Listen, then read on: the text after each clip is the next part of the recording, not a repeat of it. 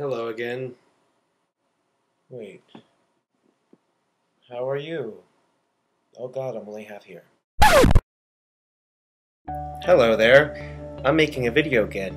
Because because I'm stuck in Bloomington till Monday and I have nothing else to do. All of my summer classes are finally over. Thank God. But I can't just leave. I have a little I have a lot of last minute business, loose ends to tie up and all that crap to do before heading home. It was supposed to be done by yesterday, today, yesterday, but it didn't work out that way. Some store uh, certain clerk's office changed their hours and didn't call to tell me. And so now I'm stuck chilling here until Monday, when I can finally leave and say goodbye once and for all. I feel like I've been saying goodbye for about a week and a half. So the overall message of this video, not just a rant, um, someone came up to me after my last final and they uh, they asked me, Aren't you gonna miss Bloomington? and I stopped and I had to ask myself, am I gonna miss Bloomington?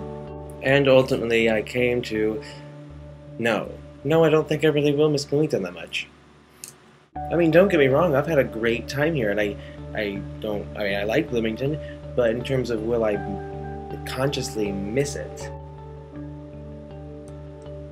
I mean, the thing is, I've been here a long time. I've been here for, I've been here, I moved in on August 22nd of 2006. And while I've enjoyed my college experience uh, thoroughly, I'm ready to move on. I'm ready to go, go. there are a few things about Bloomington and in Bloomington I will miss. For example, I will thoroughly miss my cute little corner apartment on Hunter Avenue, where I have lived for the past three years. No place like home.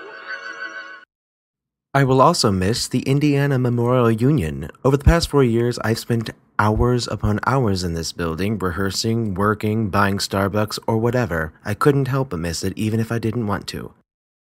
I will miss Hoosier Musical Productions for a number of reasons. One, it was my baby. I started it from the ground up. But even more so, it gave me the opportunity to leave IU and feel like I actually did something.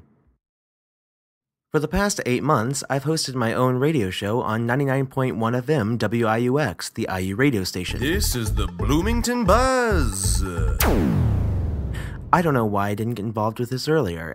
It was incredibly fun and a wonderful experience for me. I will miss it very much. Over the past year in particular, I've had the opportunity to work with the Bloomington Playwrights Project a number of times. I've met some really incredible people, and last May even got a chance to perform in one of their shows. I will miss them, and I will miss the space. Truthfully, you can go bowling just about anywhere, and I can't think of very many cities in which you couldn't find a bowling alley. But let me tell you, this place got me through some rough times. I will miss it. And I will miss their stinky shoes. And last, but certainly not least, I will miss the wide variety of pizza selections we had here in Bloomington, particularly those who were open until ungodly hours of the night so that we could call and have it delivered when we really shouldn't have. I will miss it dearly, but my arteries will be thankful to see it go. Yeah, so there you have it. Oh, and by the way, uh, over that course of those pictures, I realized I don't like this shirt. I'm gonna change it.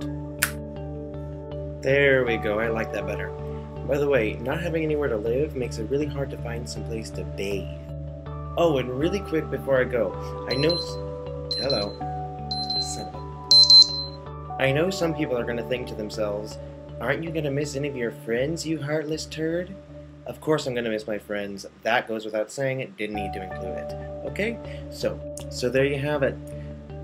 Goodbye, Bloomington. Thanks for the memories, and I'm sure I'll see you again.